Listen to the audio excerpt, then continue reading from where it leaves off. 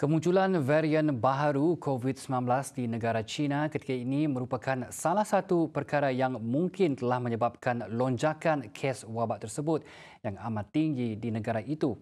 Berhubung pembukaan sempadan kepada pelancong dari China, pakar perubatan kesihatan awam Universiti Malaysia Sarawak UNIMAS, Dr. Helmi Hazmi berkata, pelancong dan pengembara dari negara itu harus menjalani saringan kesihatan yang sewajarnya sebelum dibenarkan memasuki Malaysia. Malaysia. Pengunjung dari China uh, kalau boleh mereka perlu melakukan memastikan untuk melakukan ujian negatif PCR sebelum sampai dan perlu diisi dalam satu sistem seperti MySejahtera ataupun uh, borang online yang boleh diperiksa dan disaringkan oleh penduduk uh, oleh uh, kerajaan oleh pihak-pihak berkuasa tempatan.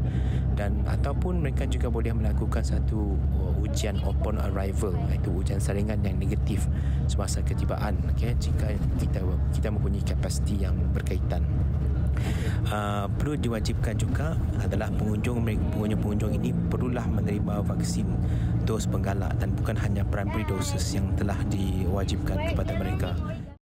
Menurutnya lagi, hanya pelancong yang sudah menerima dos penggalak sahaja boleh dibenarkan masuk negara. Sementara itu, bagi pekerja industri pelancongan pula katanya, mereka juga digalakkan ataupun malah diwajibkan untuk mendapatkan dos penggalak kerana mereka membentuk satu lingkaran pelindung di antara pengunjung dan penduduk tempatan. Ah, selain daripada itu saya menyeru agar semua orang warga warga tempatan untuk mendapatkan dos penggalak eh, yang pertama dan juga yang kedua. Tanpa perlu menunggu vaksin yang uh, by variant yang baru.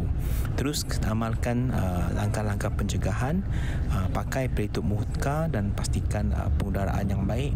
Kuarantin kendiri apabila menunjukkan tanda-tanda tidak sihat agar ia tidak menyebabkan kemerebakan di kalangan masyarakat ataupun di kalangan uh, orang-orang yang berdekatan dengan kita.